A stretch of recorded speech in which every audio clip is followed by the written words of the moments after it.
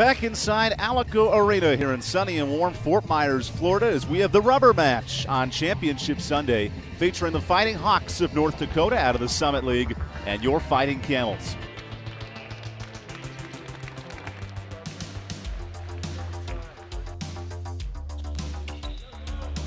Now Stocic in the post, backing down Rebraca. A pump fake, goes up with the left hand and banks it in. Milo Stocic, first points of the ball game.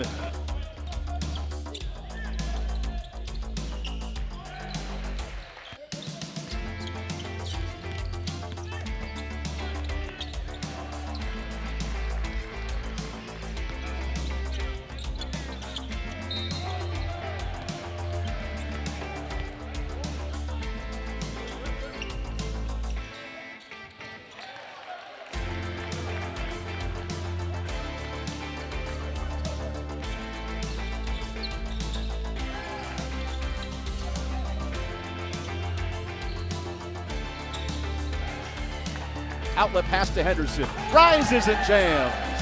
Cedric Henderson on the outlet puts home the slam dunk. Campbell up 17 to 11.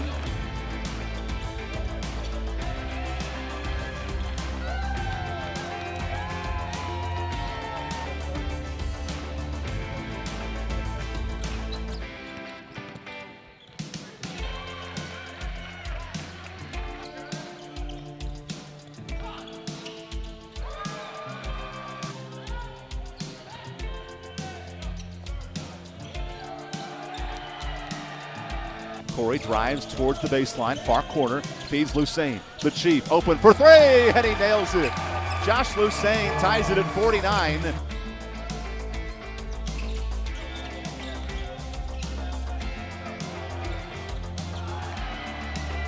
The Chief turns right, throws to Henderson. Cedric one on one, drives in right to the block, goes up with the right hand and banks it in. Cedric Henderson gives Campbell a four point lead. Game, two seconds left. Stewart for the win, and the shot is short. Three pointer no good, and Campbell holds on to beat North Dakota 58 to 56.